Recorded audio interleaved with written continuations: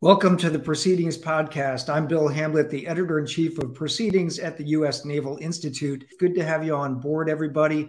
We're going to do a preview today of the International Navy's issue, the May issue of Proceedings, which you should be getting in your mailboxes or uh, on your computers uh, very soon.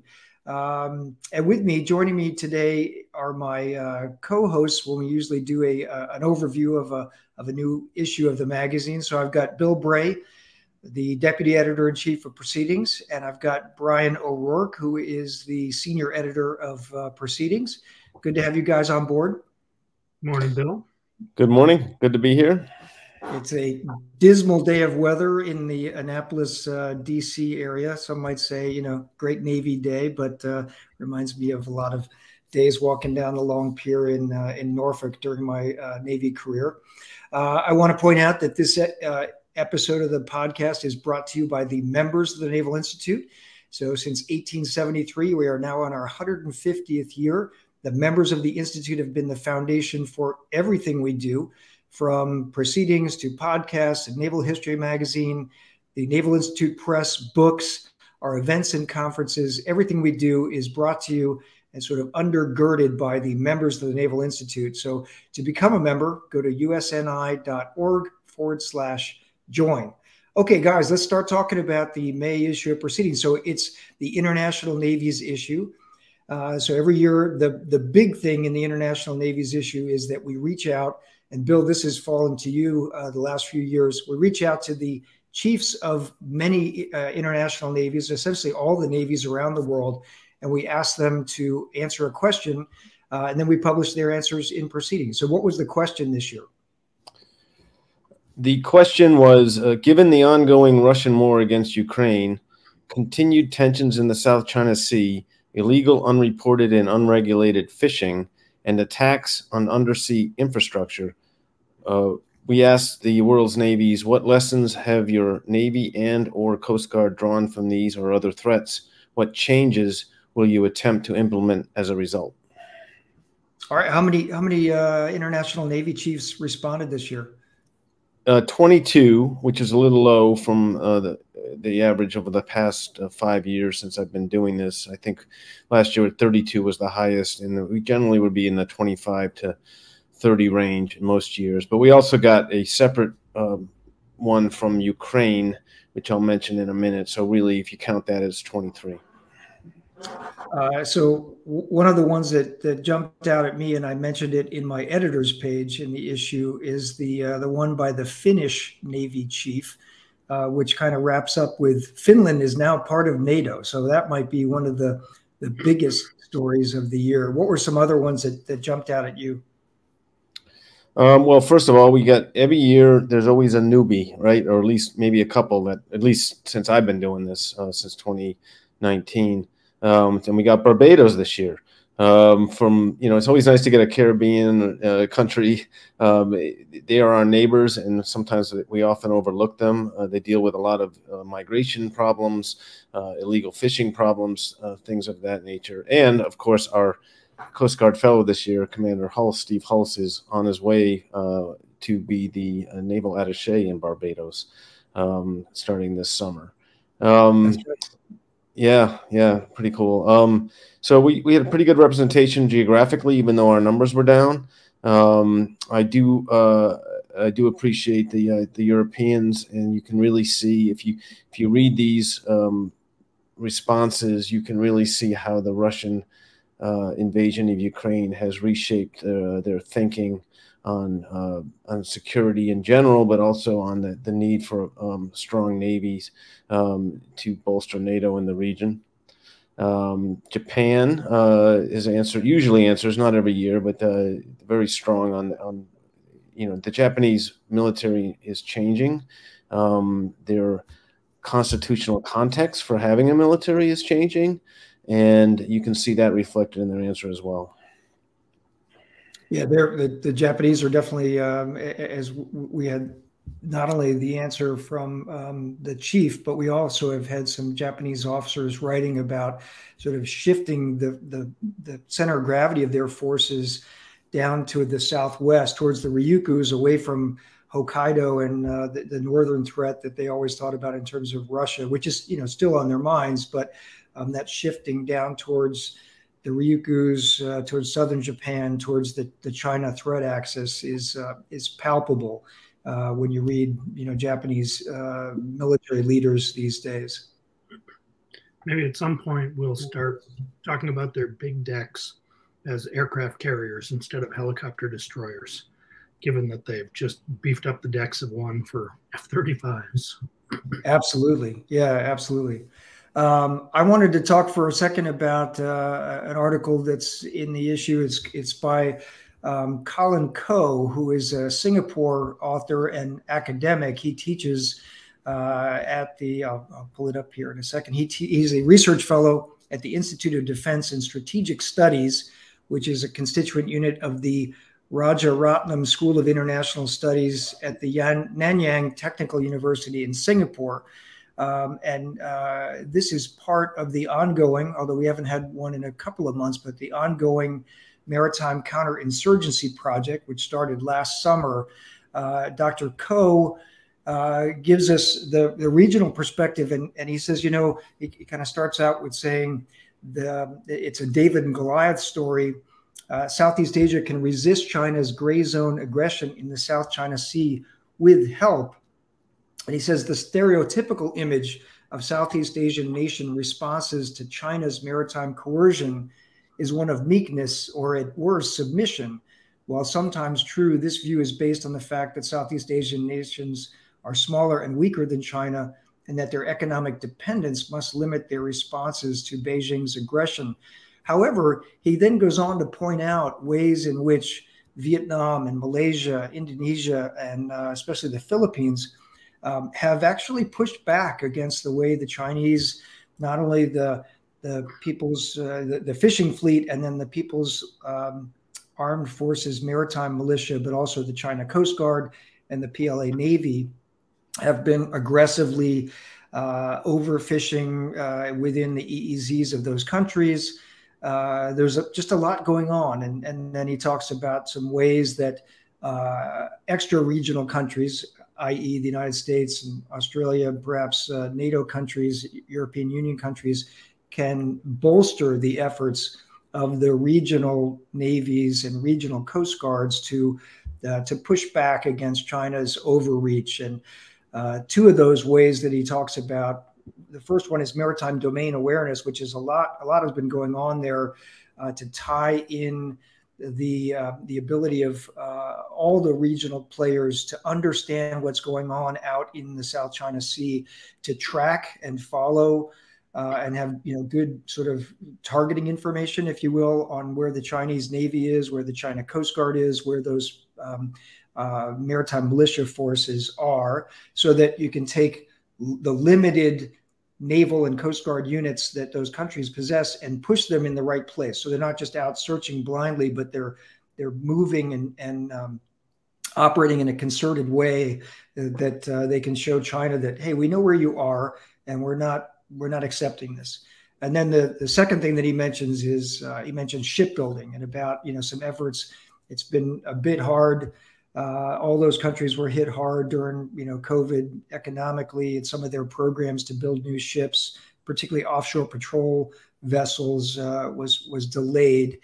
Uh, but he talks about some ways to uh, to to help bolster the shipbuilding and the way that those countries working together could perhaps uh, bolster the shipbuilding so that they can put more units in their navies and in their coast guards uh, you know, to help strengthen their response. So it's a good piece. Again, this maritime counterinsurgency project continues.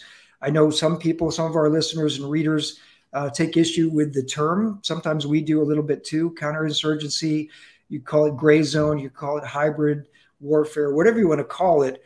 You know, it's the rose is a rose by any other name kind of thing. But you know, the Chinese uh, military, the China Coast Guard, the China uh, Armed Forces militia uh, are operating in ways that are inimical and against the um, international norms. It's against the UN Convention on the Law of the Sea. Their their claims to the entire South China Sea, their their fishing and resource extraction in the uh, exclusive economic zones of all those countries around the South China Sea is it's illegal, right? So this is a good piece by somebody who is a an expert who's in the region, who's a Singaporean, and who follows uh, this issue very, very closely. It's great to have uh, Colin Koh in our pages. So I don't know if you guys had any thoughts of that, or you wanted to go on to the next ones uh, you want to highlight. highlight.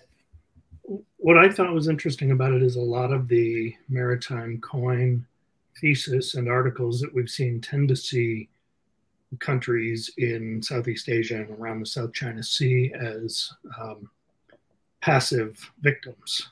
Um, you know, they they're almost without agency until the U.S. Navy can show up and you know put teeth in them. And Colin more or less rejects that. It's not as yeah. though it's not as though they, these countries are acting, you know, right up to the precipice of a shooting war or anything. But it's a much more nuanced view of what this means. And I, you know, I have my thoughts about the coin terminology for it, but whatever you want, as you said, whatever you want to call it, there's bad stuff going on.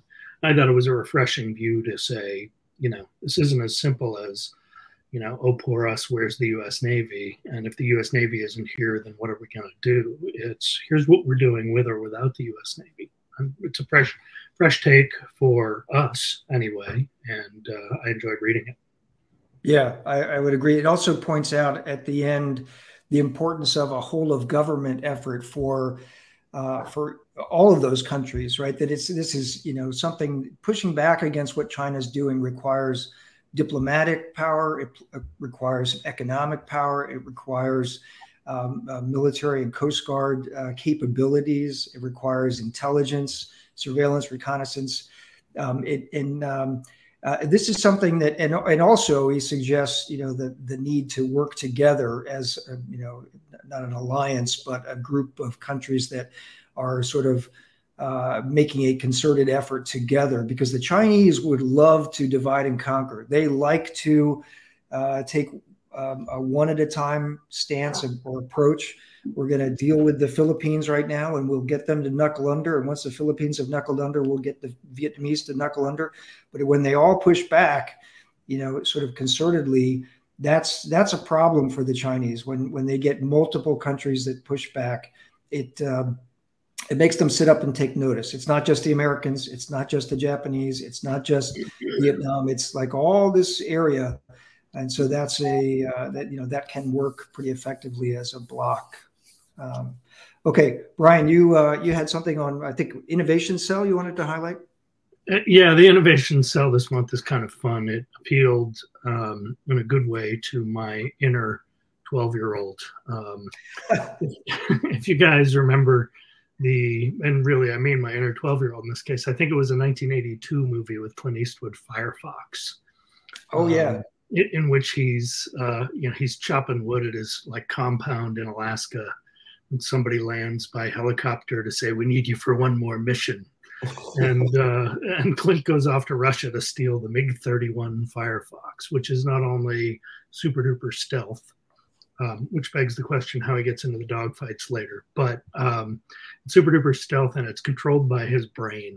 And so it's got a helmet that, that reads his brain waves. Um, there's a funny moment where he's sitting in the cockpit going, fire rear missiles, damn it, in that Clint Eastwood thing. And then he remembers he has to think in Russian. Um, it's a it, it's a silly movie. Uh, it's a corny movie. It was great fun when I was twelve. It was a um, much better book, by the yeah, way. Yeah, yeah. I mean, there's a cornball scene where he lands on the ice and his nose gear stops like three inches from the crack in the ice, and the whole theater groaned. I remember that. But at the heart of it, this is a great hook um, that that the author has, um, you know, Lieutenant Commander Mark West. It's a great hook because lots of people remember the movie, and it gave us a chance to put Clint Eastwood's picture in the magazine, which we don't often get. But the idea behind it is really close to reality. Um, brain machine interface is a legitimate thing right. It's not to the level of flying an advanced fighter and firing rear missiles by thinking in Russian but it's not super far from that anymore. And so he sort of takes you through, he starts there and then takes you through the reality of it and gets into uh, different companies. Of course, this is something that Elon Musk is involved in somewhere. Um, gaming companies are very interested in it, and you know, gaming has driven a lot of innovation over the years. A lot of the VR stuff that is finding commercial applications and training applications started as video game applications. Uh, it's a profitable industry. People line up to pay money for new technology in there, and um, this is this is the next big thing. Will it ever get to the point of flying an advanced fighter? I don't know. I don't think anybody knows. This could be one of those technologies that's forever 10 years away from that moment where it does everything it's promised. We've kind of been there with AI for a while.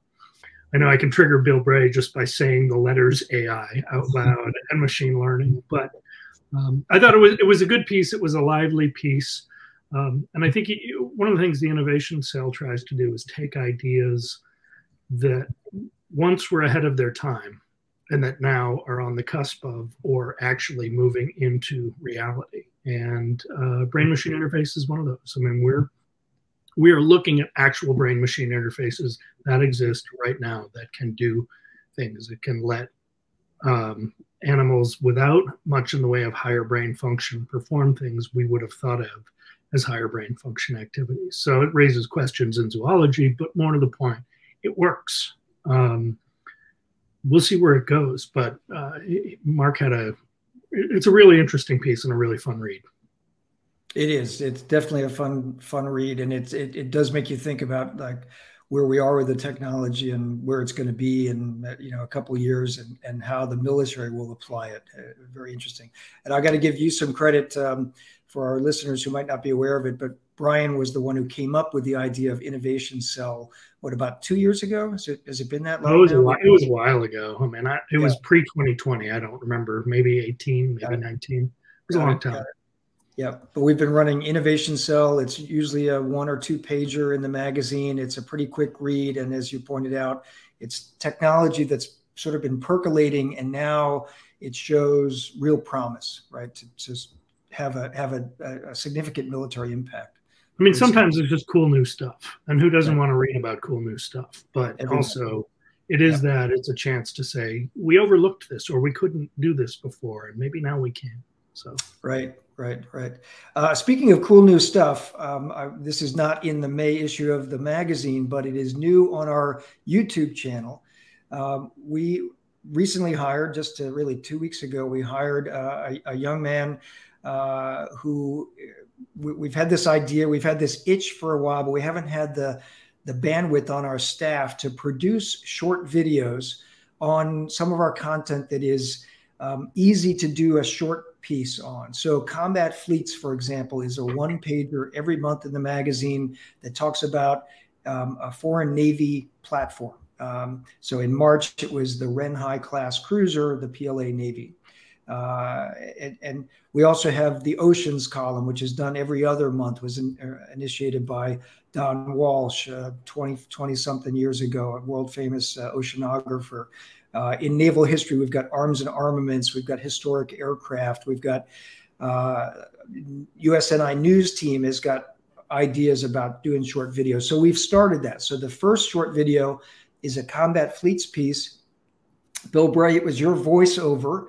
Uh, and Moon Pitch is our new employee uh, who put together the video and he pulled in images and uh, and and video and schematics and diagrams. Uh, but it's a great, I think, four minute video on the Chinese Ren Hai class cruiser. And we're going to have more of that stuff coming. Uh, probably do one, uh, you know, hope, hoping to do one a week of the combat fleets. And then we'll get into some of those other, other categories. But watch, look for that uh, on the, the, the, the Naval Institute YouTube channel. Um, those are great short videos, and you know more in the in line with you know the sort of TikTok or uh, or Reels kind of thing and we'll see what uh, we'll see how that does. But I, I expect it's going to do well. It's uh, useful and and you know easily digestible. It's a bit like popcorn. So, if your skipper is about to give you a quiz on the Ren Hai Cruiser and you're a visual learner, this is for you. Well, Bill Bray and I, as as uh, former Navy intelligence officers, we spent some part, uh, you know, not an insignificant part of our careers teaching operators, uh, you know, how to recognize. We call it recce training. Recognize um, you know, Russian and Chinese and other navies platforms, particularly ships, submarines, aircraft, etc. And so this is this is a recce brief that is ready to go. So if you're a squadron intel officer out there in the fleet, find that video and show it to your squadron, and they will they will eat it up. It's just great stuff. Uh, okay, uh, Bill, what was the other uh, article from the May issue you wanted to mention? Yeah, I, would like to briefly discuss uh, uh, an article by Commander Mike McCrabb, U.S. Uh, Navy retired. the title of the article is "International Maritime Training is a, is a Strategic Advantage." It's a two-page special um, that Mike, I'm sorry, three page special that Mike uh, proposed to us a while back, and uh, we, we liked the idea. Uh, we had to tighten it up a little bit, but the gist of this is, well, first of all, Mike is uh, currently the um, the Naval Education and Training Security Assistance Field Activity Strategic Planner. That's a mouthful, but um, he is, and he's also in, in previous um, uh, previous job in, in his retired uh, life, he worked for the Navy International Programs Office. So Mike is really um, one of the experts on uh, what we, the United States uh, Navy, uh, does for, or the Department of the Navy does for uh, when it comes to training foreign navies and foreign Marine Corps and Coast Guards on not just our equipment, but just also our tactics, our doctrine, uh, whatever. And it's quite extensive and it's quite affordable. It's the amount of money we have to spend to do this is is a rounding error in DoD's budget, and um, part of it is tied to our foreign military sales program. So, in other words, when we sell um, an F-18 Hornet, Super Hornets to a country, there's a training piece that comes with that. Um, it's part of the contracts but a lot of it is not. It's just normal um, training that we provide both here in the United States and abroad. Um, and and also it includes the professional military education side of it, um, which is uh, international students coming to our schools, particularly our war colleges. And uh, there's even a call out box in this article about the Naval War College. And it's quite interesting. It was Admiral Arleigh Burke who started, uh, when he was CNO, started the um, opening the Naval War College in Newport to foreign students. And since then, since 1956, 138 countries have participated, um, have sent students to the Naval War College. Um, each year, about 100 students uh, attend. And if you expand it to the other war colleges, Marine Corps University and others, there's 400 international students a year that go through uh, uh, these courses.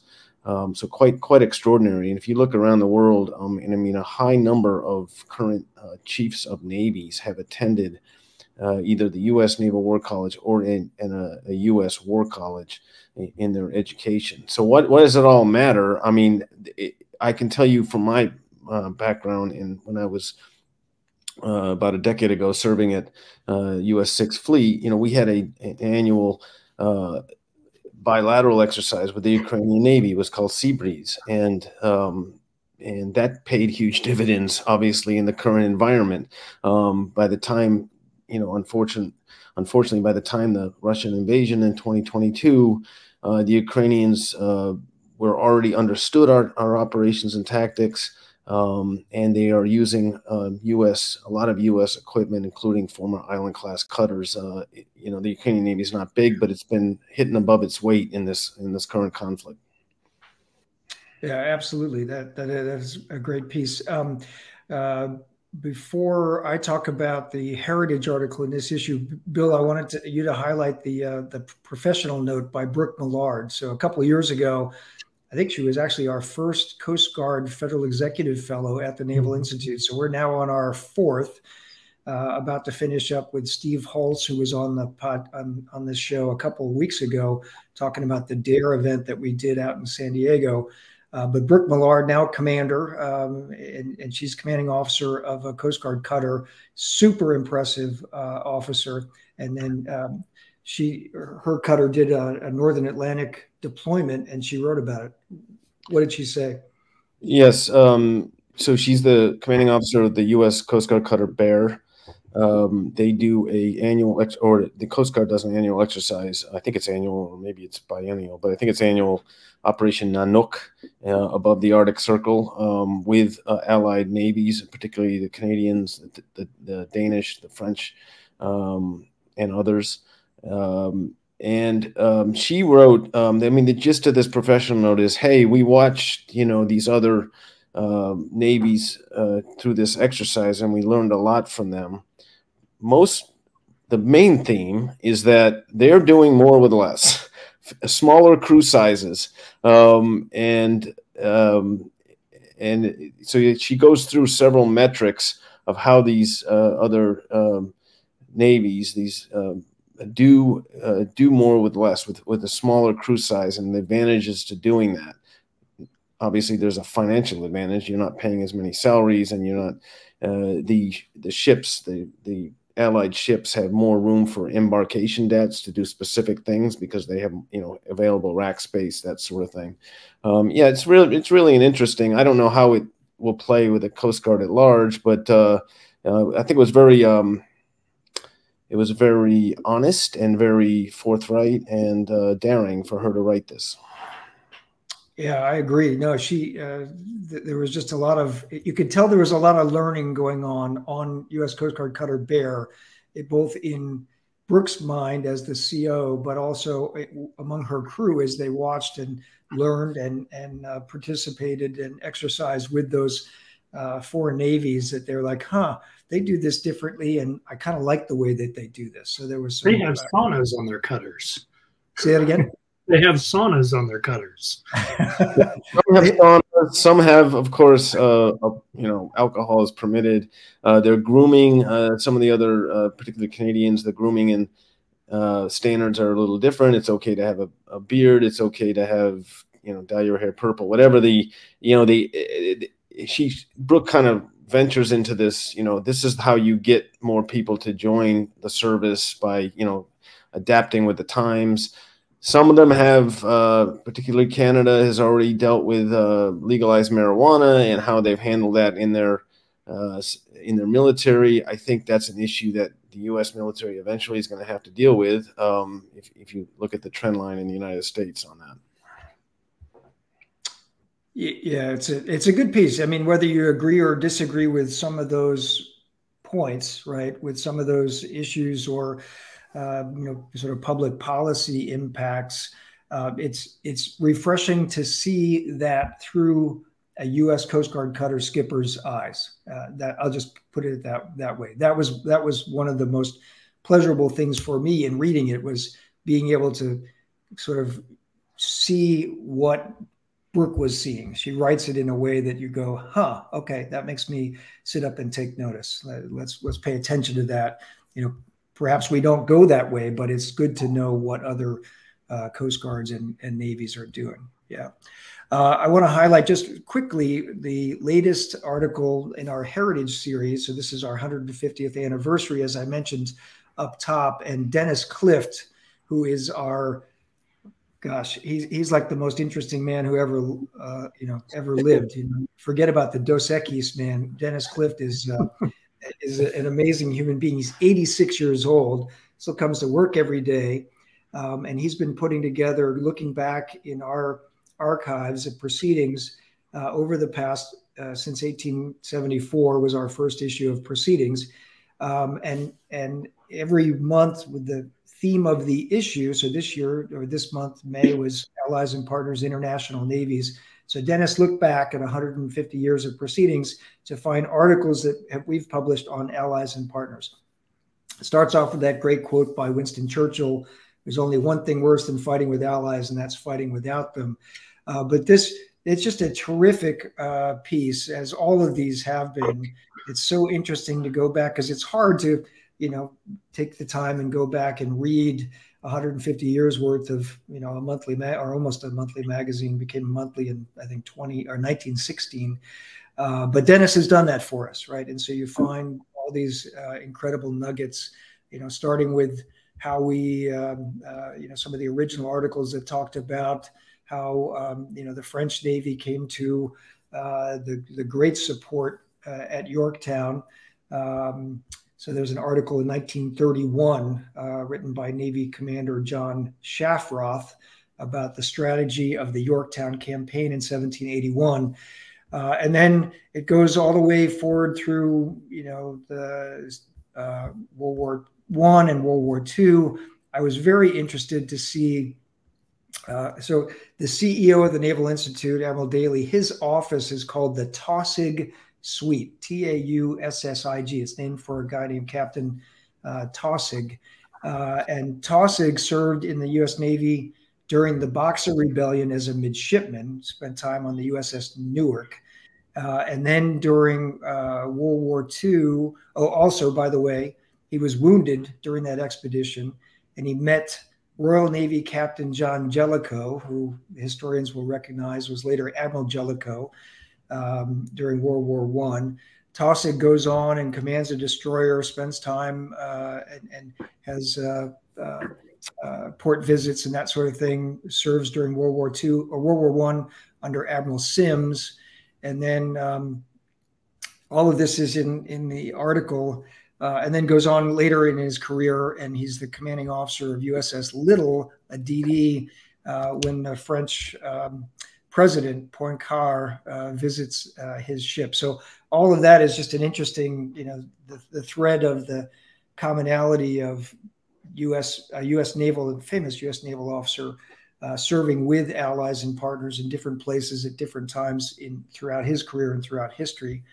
And then uh, Brian and Bill, you you'll remember this. Just a few years ago, we published a great piece um, by a French, I think it was the French naval uh, attaché at the time, that was about the how the French carrier Air Wing uh, came and spent time on the USS uh, Harry S. Truman when the French nuclear powered carrier was in the yards and going through an overhaul, significant overhaul. Uh, the French Air Wing came across and did this Operation Chesapeake, where they operated out of uh, uh, NAS. Uh, I'm drawing a blank. Um, Naval Air Station Norfolk and also um, Virginia Beach. Oceana, sorry. Yeah, they operated out of Oceana and uh, and Norfolk, and then operated on board the uh, uh, on board the Harry S. Truman, and that's uh, highlighted here towards the end of the uh, the article. And if you guys had any key takeaways from Dennis's piece, go ahead, Brian. Nothing so specific as to be surprised at how much we've written at so many different times or published, and we haven't. I didn't write it. I'm old, but not that old. Um, it's it feels like a modern idea. Oh, we need allies and partners. You know, um, if it weren't for us, you'd all be speaking German or Japanese or whatever kind of attitude. Feels like it's forever, and the reality is that even at that moment, we were highly dependent on allies and partners. But um, it's a thread that runs through the whole history of the magazine, and I guess I shouldn't have been surprised by it, but I was. Yeah, yeah, and I mean it's been highlighted, uh, especially since the 2018 National Defense Strategy highlights. You know, I think one of the three pillars was allies and partners, right? And so because of that, and, and that carries forth into the current National Defense Strategy. Um, but as you point out, you know, it's it's as if we're just discovered this idea of allies and partners, and it's neat to go back in proceedings and go, yeah, not so much. this has been this has been a thread. This has been something that has not just been happening, but it's also been uh, stimulating the thoughts of people who are writing for proceedings uh, over you know a, a, very long period of time. By the way, the French authors that you mentioned, uh, the attaché was uh, Jean-Emmanuel Roudelou Géhé, and uh, the art he actually facilitated the article by Captain Charpentier um, about the exercise, but uh, it was I found that it was more uh, self-critical than just self-congratulatory. The way you know sometimes we get post-exercise valedictory addresses, and this right. had plenty of legitimate valedictory to it, but it also had some. And here's what didn't work great, and here's what we learned. That one's worth looking up. Yeah, and the French the French Air Wing they brought E twos, Uh, so those were the aircraft that operated out of NAS Norfolk, and then the Rafales operated out of uh, out of Oceana. Uh, Ward somewhere is going to kick me when he says you can't remember Oceana, but uh, but the Rafales, uh, you know, and then they then they spent time on the carrier together with the U.S. Air Wing, and so it was a combined U.S. French air wing operation off of a U.S. aircraft carrier um, that you know really just just shows the ability to uh, to integrate. I, I'd love to see, you know, this is me being a little sarcastic. Love to see, you know, Russian naval aircraft try to operate off the Shandong or the Liaoning, the Chinese carrier. I that that, that partnership is nowhere close to being able to you know, and and here in the last five years, you've seen a French air wing operate on a U.S. Navy carrier. You've seen U.S. Marine F-35Bs do a deploy workup and deployment on the Queen Elizabeth, the British, uh, and then go work from a Japanese carrier on the same deployment. On the same deployment, right? Exactly, exactly. So that is that does highlight this. The the you know, as some people might say, you know, the superpower that we have is our allies and partners. So. Okay, well, we are about out of time for this uh, episode. It's been great to talk to you guys. Uh, terrific uh, on a on a cold, rainy day here in the DC area. Uh, another issue done. We're now on to the uh, the June issue, which is our uh, information warfare uh, themed issue for this year, uh, and lots of great content. Lots of essay contest winners. We've got midshipmen and cadets essay contest winners. We have the capstone, which is Naval Academy uh, first class midshipman essay contest. We've got the Naval Postgraduate School essay contest, and I, am probably missing two or three others, but we, the, the information warfare essay contest, top three winners, plus one or two additional IW essay contests, which is were not uh, which were not winners in the contest, but were terrific articles anyway. So great stuff coming in the June issue.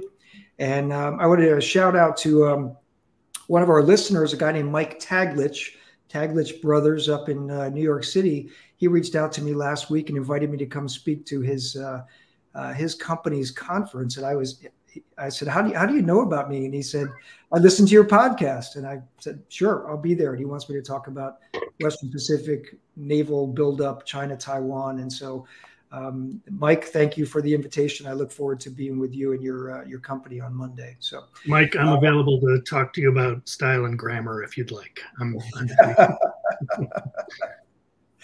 All right. Well, that wraps up another episode of the Proceedings podcast brought to you by the members of the Naval Institute.